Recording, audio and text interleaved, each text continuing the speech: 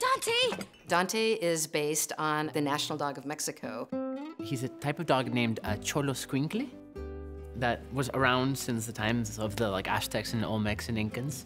Since they don't have any hair, they emit a lot of heat that some people in Mexico actually use uh, therapeutically. They just hug the dogs and they're super warm and it like makes them feel good. In ancient Aztec myth, when somebody died, they had to go on a journey towards kind of a land of the dead called Mictlan.